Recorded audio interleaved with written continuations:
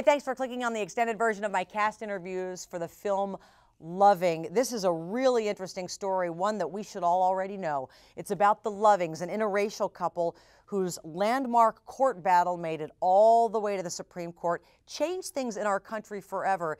It's a story that needed to be told. It is so well acted. And we had a chance to sit down with Joel Edgerton, uh, Ruth Negga, a lot of Oscar buzz surrounding those two performances, as well as the director Jeff Nichols.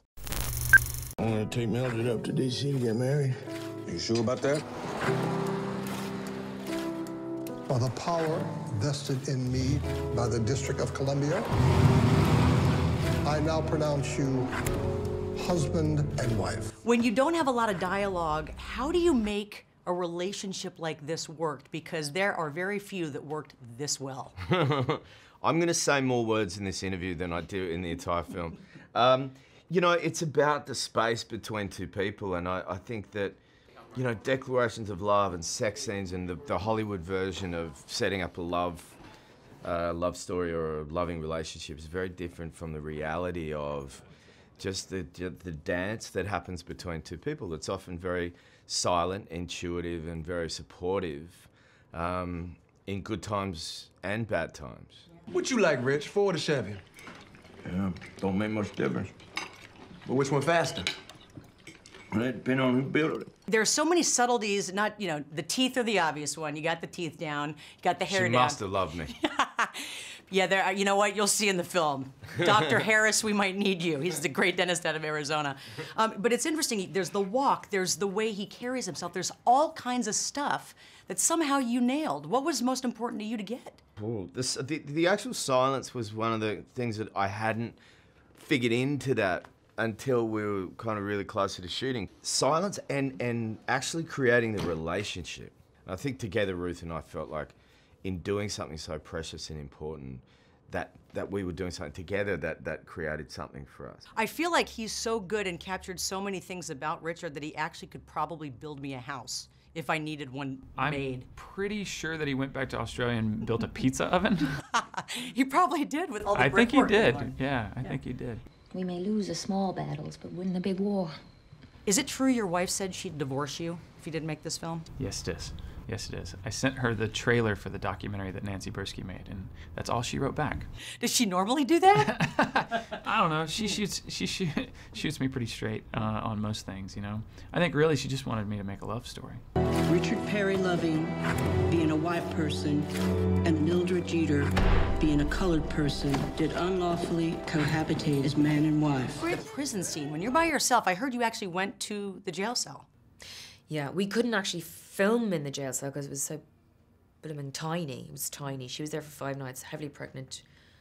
And it was tiny. But the outside of the jail we filmed filmed. But we we visited the, the room and I think when you when you visit a place that these events actually occurred in, I'm a big believer in that places have energy, you know, and they absorb energies. And I think that when you actually walk in their footsteps, it brings you closer to them and their story. And it's not something that happened back then, you know, far away. It's like right up there. And it's undeniable. And I think that it's good to be reminded that this isn't a past thing. You know, history is something that is, it's not just done. We're still affected by it, still resonating.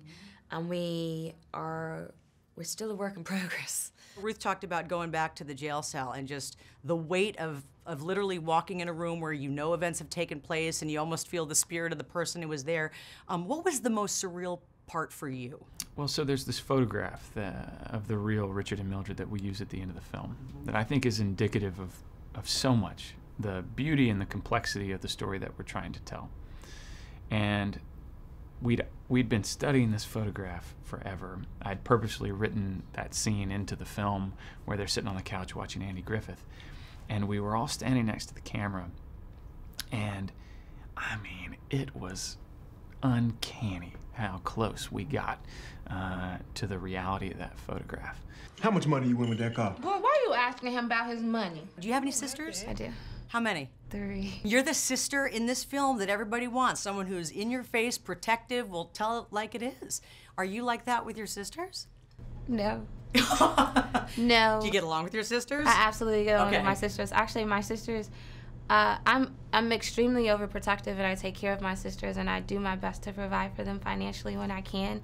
However, I'm not in your face. My sisters are more than in your face. You you know, even my little sister.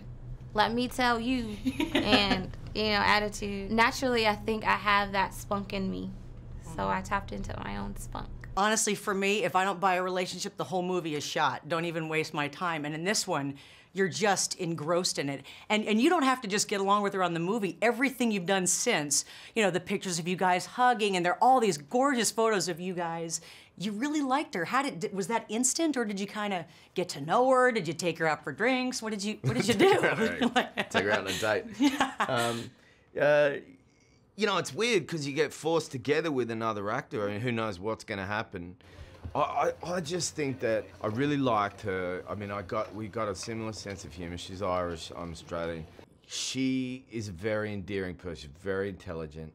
She's excellent at what she does, which which made me sort of admire her even more as as, as an actor. Um, it's fun to be around. We like each other. Yeah. We all kind of really like each other. and We all get along, but no one wants to hear that, do they? But you know, the thing about when you like someone is like isn't just like oh, it's about like respect and uh, wanting them, wanting each other to have a nice time, and, and you know, because I like my job and I want to enjoy it, and I think that Joel describes it brilliantly. He says that we we all felt, and especially the two of us, that we were carrying something very important and precious together, and that was our job. And so, you can't help but need each other. You go to the Virginia State Court next, right? Yes. You nervous?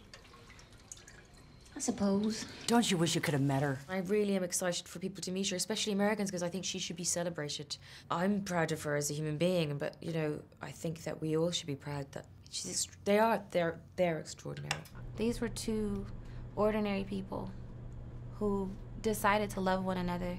They risked their well being, their safety, their lives, their families' lives to be together because they loved one another in a time when this was against the law and it was unheard of. And because they did that, you know, so many other people are able to reap the benefits of their sacrifice. And so love is really all that matters. And we can make a difference in the world through love. So your wife has seen the movie. Are you safe for at least a couple years until we're she threatens that I D think we're word? doing all right. We don't have to go to therapy yet.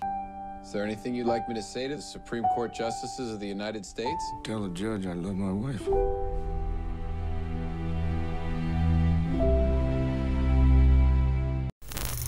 Yeah, there's a lot of Oscar buzz surrounding this movie, um, specifically about the performances of Joel and Ruth. I hope you enjoyed my cast interviews for the film Loving. Don't forget to like us on Facebook.